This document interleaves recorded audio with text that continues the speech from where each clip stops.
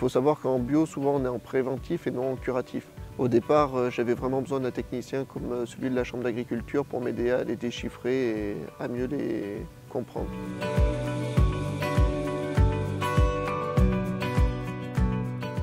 Jérémy Chaffanel, gérant de l'ERL Le Grand Champ.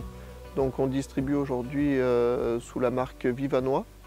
On possède une centaine d'hectares de SAU, dont une cinquantaine d'hectares de vergers en bio. Le choix du bio il a été effectué en 2016, un an après la reprise de l'exploitation en 2015 le choix de l'agriculture biologique pour moi était important euh, bah, déjà euh, au niveau de l'environnement, pour la protection, euh, parce qu'on sait très bien qu'aujourd'hui il faut que chacun ait une part d'effort sur notre comportement individuel. Et après il y avait aussi un intérêt au niveau de l'entreprise pour stabiliser, parce que c'est un marché quand même qui est plutôt porteur et en même temps qui permet de garantir des revenus beaucoup plus stables et sur du long terme.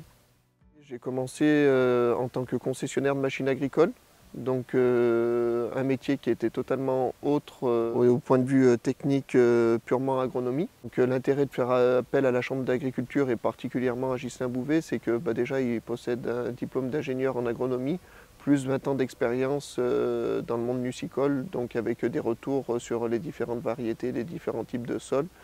Et ça part de la taille des arbres à l'amendement, et jusqu'au choix technique des variétés quand on replante. On a pu échanger euh, sur les différentes méthodes pour gérer notamment l'enherbement sur euh, la ligne, ben, les analyses de sol, la lecture des analyses et savoir comment s'adapter.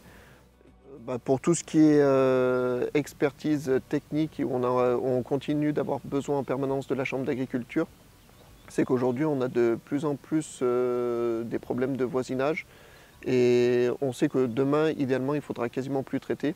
Donc il faut vraiment aller vers des variétés qui soient rustiques, mais en même temps qui aient euh, des niveaux de production qui soient assez importants. Donc là maintenant on a des sondes hydriques qui sont installées de partout sur l'ensemble de nos parcelles.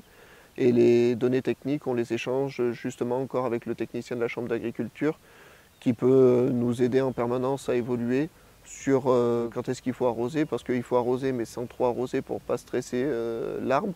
Mais si on n'arrose pas non plus, on ben, n'a pas les rendements recherchés.